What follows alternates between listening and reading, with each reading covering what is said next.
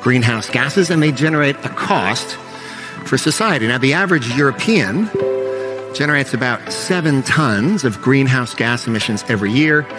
The average American, I'm an American, generates about over twice that. This is what a ton of CO2 looks like, or at least gives you a sense of the size if you filled that balloon with CO2. So, what does that mean in practice? Well, I flew here from New York City, an economy, a round trip economy class ticket from JFK to Vienna produces about one ton of CO2. One ton is also about the emissions produced from driving an average gas powered car about 2,500 miles or 4,000 kilometers. It's equivalent to the emissions an average U.S. household produces from electricity use in about 10 weeks.